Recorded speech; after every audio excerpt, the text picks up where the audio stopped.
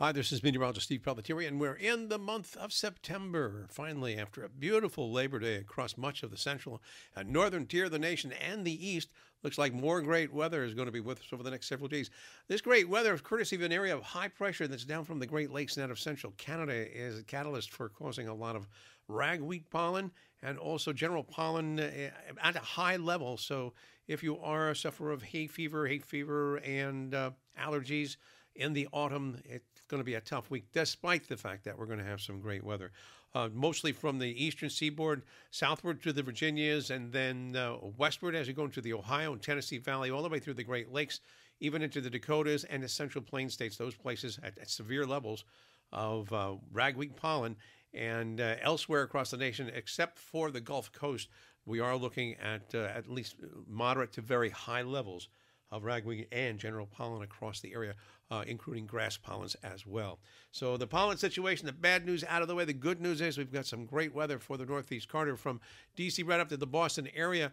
Uh, today, probably right up through Friday, we're going to have great weather. Highs in the 70s, nighttime lows in the 50s. Some places in eastern PA and up in central portions of New York State around the Finger Lakes, it'll be down into the 40s, lower 40s in those places. That'll be at nighttime. The days are getting shorter as uh, morning sunrise is happening a little bit later, sunset a little bit earlier, and you can feel the difference to the air as we get into the month of September, a month that usually gives us some excellent conditions across the nation. So uh, let's take a look in detail, aviation wise, if you're traveling on this Tuesday. That big area of high pressure centered right across the Northeast, no problems in D.C., Philadelphia, New York, Newark, LaGuardia, JFK, and even up to Boston, up to Buffalo, Albany, all the way out to Detroit, and even into Chicago, Minneapolis, St. Paul. No problems weather-wise there. Charlotte's looking good, as does Nashville, northern portions of uh, Georgia, all under clear skies. So Atlanta, no problems there. It's along the Gulf Coast, as I mentioned.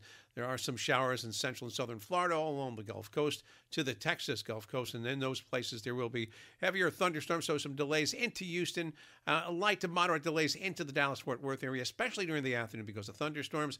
Elsewhere on the West Coast, still dry from San Diego all the way up to Seattle, including LA and San Francisco. So no problems expected there. So weather-wise, we've got some great weather. There's big area of high pressure that's building across the region. It looks like it'll last through a good balance of this week. We'll update you again on Wednesday morning. Hope you have a great day today. Thanks for listening. Take care.